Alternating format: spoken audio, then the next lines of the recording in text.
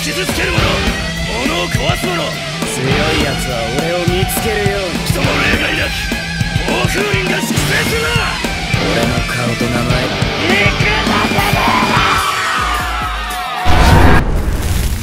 Manga Bakuto Windbreaker episode yang ke-79-nya dibuka dengan sebuah potongan panel cerita singkat yang luar biasa menarik.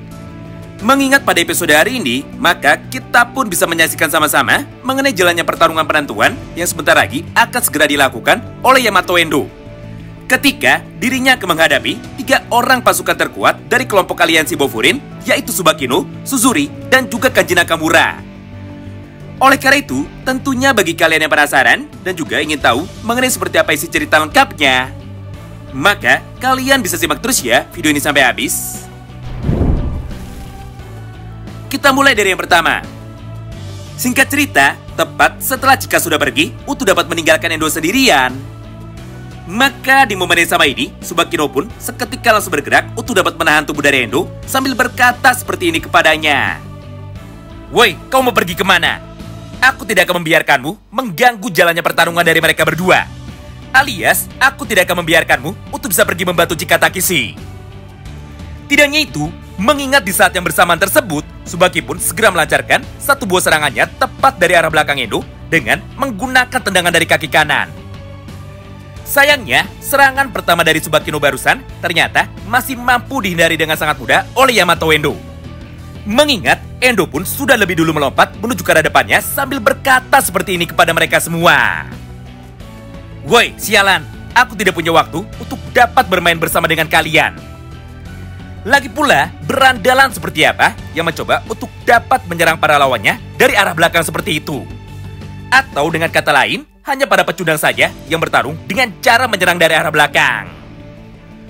Mendengar perkataan dari Endo, Subaki pun sama sekali tidak peduli. Hingga pada halaman yang terakhir ini, Kanji dan juga Suzuri akhirnya langsung memutuskan untuk bisa maju juga demi dapat membantu Subakino untuk dapat mengalahkan Yamato Endo.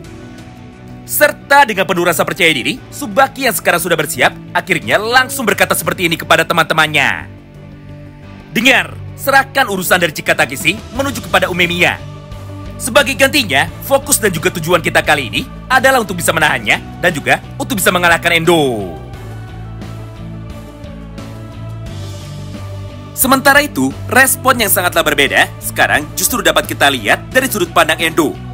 Mengingat pada kesempatan ini, Endo yang nampak sangat emosi, akhirnya langsung berkata seperti ini kepadanya. Sialan, orang seperti kalian yang selalu berpura-pura menjadi pahlawan adalah orang yang paling menggangguku. Dengar, tugasku sekarang hanyalah satu saja, yaitu untuk dapat mengantar ke Takeshi menuju ke tempat dari Umemiya. Namun, karena urusan tersebut saat ini sudah selesai, maka aku pun jadi memiliki sedikit waktu untuk bisa bermain bersama dengan kalian. Tapi meskipun begitu, aku tidak mau ketinggalan untuk dapat melihat pertarungan dari Cika. Jadi, untuk bisa mempercepat urusan kita, maka cepat maju sekaligus atau cepatlah kalian langsung maju bersama-sama. Karena tidak peduli apa pun yang kalian lakukan, faktanya kalian tidak akan pernah bisa menang ketika bertarung melawanku. Alias, aku akan menghancurkan kalian dan juga aku akan mengalahkan kalian secepat mungkin dengan menggunakan kekuatanku. Nah, mulai dari sanalah jalannya pertarungan dari mereka berempat tentu saja sekarang langsung dimulai. Di mana di dalam praktiknya, beginilah penjelasannya. Pertama, orang yang bergerak paling awal untuk dapat menyerang tubuh dari Yamato Endo adalah Suzuri. Mengingat pada halaman itu, Suzuri pun segera bergerak dengan cepat menuju ke arah Yamato Endo sambil melancarkan satu buah pukulan tangan kanannya. Namun sepertinya serangan pertama dari Suzuri barusan ternyata sama sekali tidak mempan kepada Endo. Karena pada dasarnya Endo bisa membaca semua pergerakan dari Suzuri. Sehingga dia pun bisa menahannya lebih dulu dengan menggunakan gerakan yang seperti ini alias bergerak menuju ke arah sampingnya. Lalu di saat yang bersamaan, Endo pun segera menangkap tangan kanan dari Suzuri itu supaya dirinya tidak bisa kabur. Kemudian setelah itu, Endo segera menarik kepala dari Suzuri dengan menggunakan kedua tangannya. Sambil melancarkan satu buah serangan balasannya dengan cara menghantam kepala dari Suzuri menggunakan teknik tendangan kaki kanannya tepat pada bagian kepala.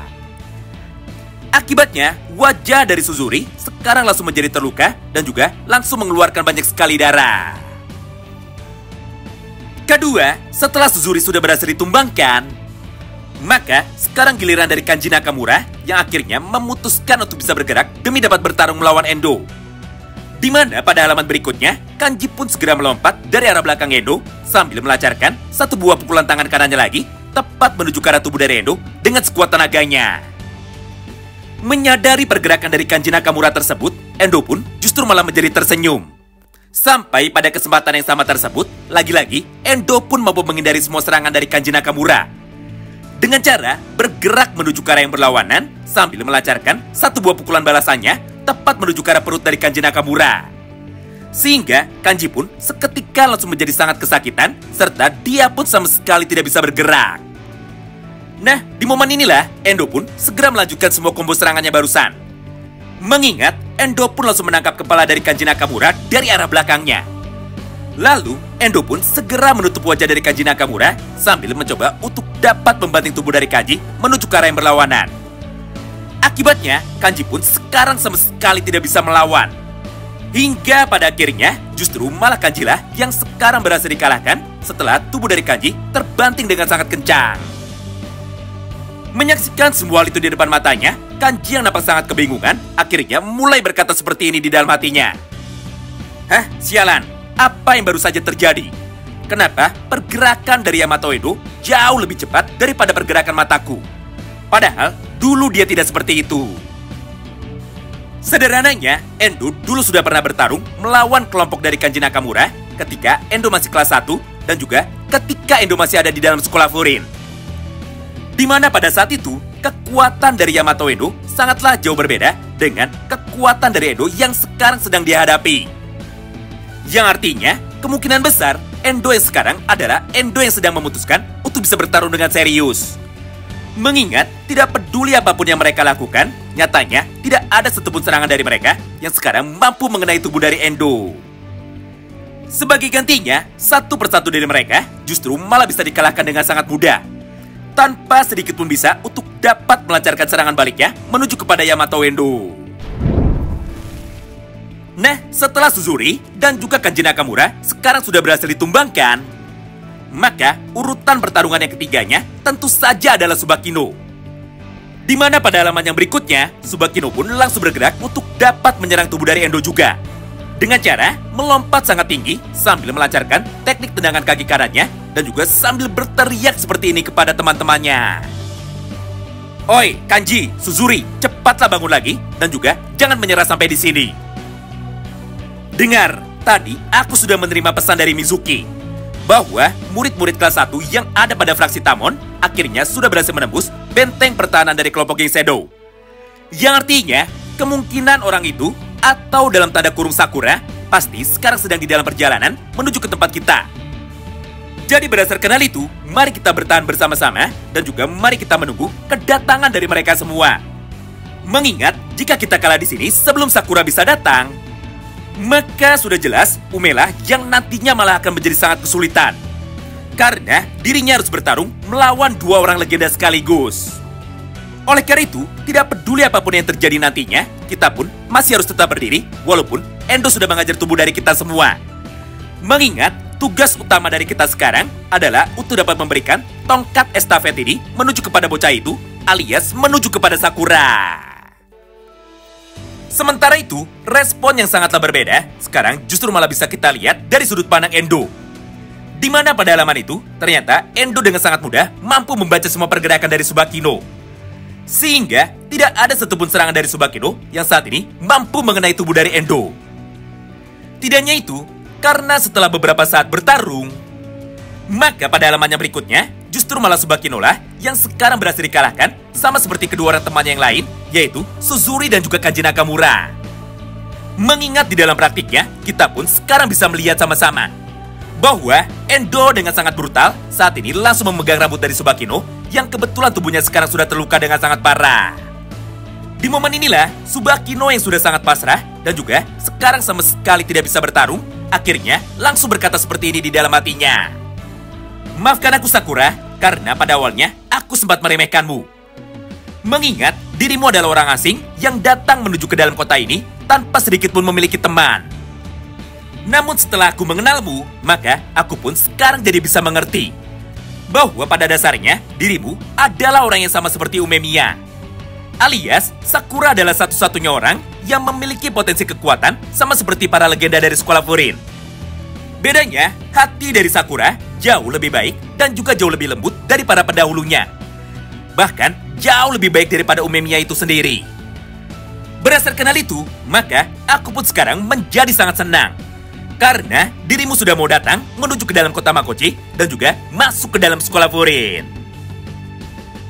Nah, setelah mengatakan semua hal itu di dalam hatinya, maka pada halaman yang berikutnya, Sakura pun akhirnya tiba-tiba saja langsung datang menuju ke dalam sekolah Furin.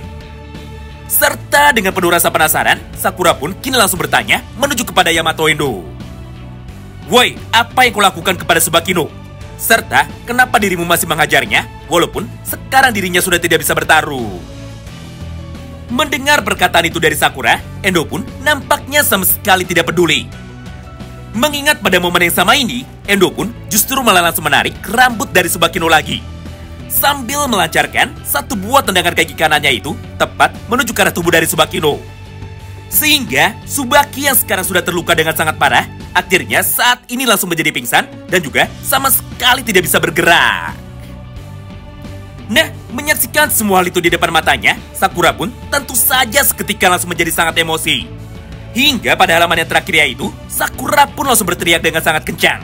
Sambil mencoba untuk dapat meluapkan emosinya tersebut menuju kepada Yamato Endo. Wow, gila banget ya! Nah, itulah semua isi potongan cerita singkat yang bisa kami sampaikan kepada kalian semua pada kesempatan kali ini. Tentu saja bagi kalian yang penasaran dan ingin tahu mengenai seperti apa kelanjutan ceritanya, maka tolong bantu kami dengan like video ini dan komen di kolom komentar ya. Terima kasih banyak yang sudah simak video ini sampai habis dan salam baku hantam.